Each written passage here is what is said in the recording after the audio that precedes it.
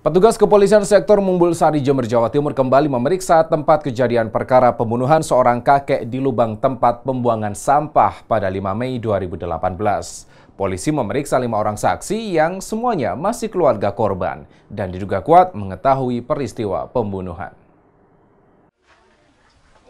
Penyidik kepolisian sektor Mumbul Sari Jember Jawa Timur memeriksa ulang tempat kejadian perkara kasus pembunuhan seorang kakek bernama Mail, warga desa Karangkedaung, Kecamatan Mumbul Sari. Pemeriksaan ulang TKP untuk mencari petunjuk tambahan yang mengarah pada bukti adanya aksi pembunuhan.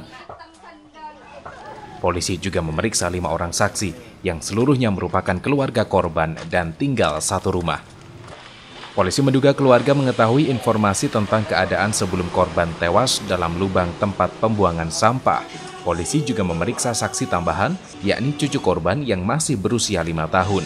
Sejauh ini, polisi masih belum mendapatkan keterangan yang jelas karena para saksi cenderung tertutup dan memberikan keterangan yang berubah-ubah. Kita dalami terus sampai saat ini karena uh, ada beberapa keterangan yang masih uh, simpang siur di di antara ketiga saksi ini. Jadi masih kita tetap kita dalami terus.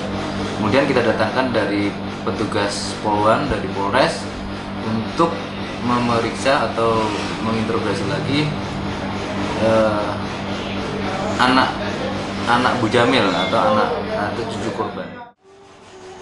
Hernawan Mustika, Kompas TV Jember, Jawa Timur.